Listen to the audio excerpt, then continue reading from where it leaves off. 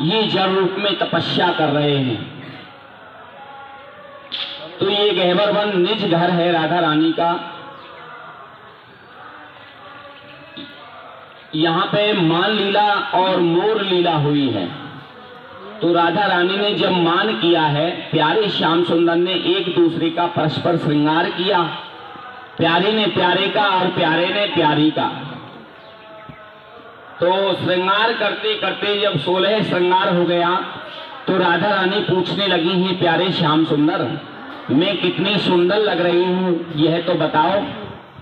तो प्यारे श्याम सुंदर ने बहुत अनुनय विनय किया कि किशोरी जी, रहने दो, क्या हो गया? आप बहुत सुंदर लग रही हो। नहीं नहीं नहीं, फिर भी तो कुछ कहो। तो प्यारे श्याम सुंदर से राधा रानी जिद कर गई। तो जिद कर गई तो प्यारे श्याम सुंदर को कुछ ना कुछ उपमा राधा रानी की मुखार बिंद की देनी पड़ी। तो प्यारे श्याम सुंदर बोले, हे प्यारी जो आपका मुख कमल जैसे शरद पूर्णिमा का चंद्रमा सुंदर लग रहा है, ऐसे ही आपका मुख कमल सुंदर लग रहा है, शोभायमान हो रहा है। तो इसी बात पर बस राधा रानी गुस्सा हो गई थी, मान ले लिया था। क्यों? कि चंद्रमा तो घटता बढ़ता है, पंद्रह दिन घटता है, पंद्रह दिन बढ़ता है, और इसको ग्रहण भी लगता है तो चंद्रमा तो कलंकित है। तो इसी बात पे राधा रानी हमारी रुष्ट होके और मान मंदिर पे बैठ गई थी। तो प्यारे श्याम सुंदर तो उनके बगैर एक क्षण भी रहना उनको तो पसंद नहीं है, बेचैनी हो जाती है, बड़े परेशान हो जाते हैं। तो प्यारे श्याम सुंदर बोले, अरे सखियों सखियों में मैं ललिता सखी थी। तो ललिता सखी से बोले, अरे सखी, हमारी प्यारी जो हमसे थोड़ा सा नाराज़ हो गई है, मान ले लिया है तो आप हमारी मान को, इनकी राधा रानी को, मान की कोई ऐसी लीला हो जो इनका मान भंग हो जाए तो ऐसी कोई लीला बताओ सखियो, ऐसा कोई उपाय बताओ।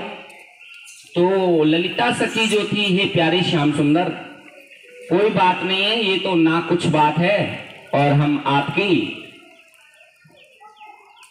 और हम आपके राधा रानी के और आपके प्रेम को बरकरार कर देंगे।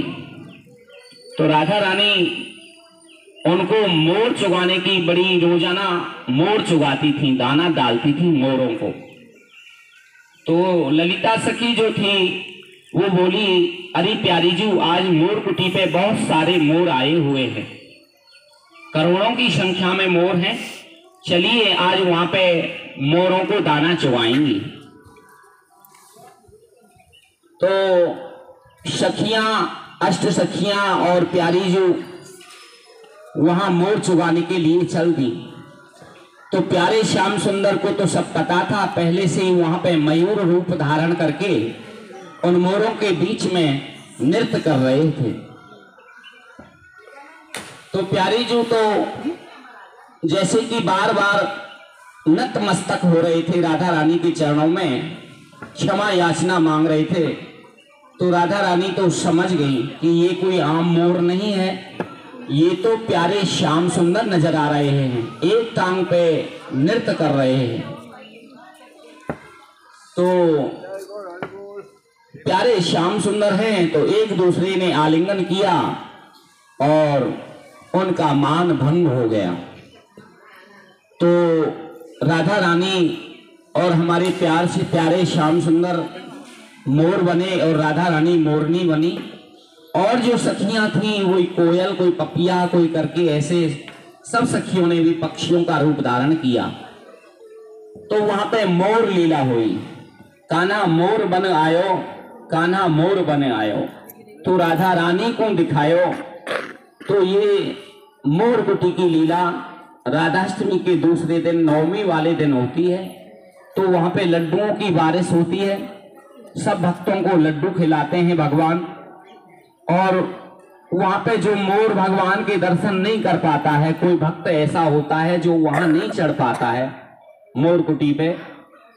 तो प्यारे श्याम सुंदर यहाँ पे भी ये दिव्य राशि मंडल है, यहाँ पे भी मोर का रूप धारण करते हैं और मोर लीला यहाँ पे भी सब भक्तों को दिखाते हैं। तो ये गहवर वन निज घर है राधा रानी का। यहाँ पे प्रिया प्रीतम आज भी नित्य रास करते हैं। बोलो, राधा रानी की गहवर वन, धाम की राश बिहारी भगवान की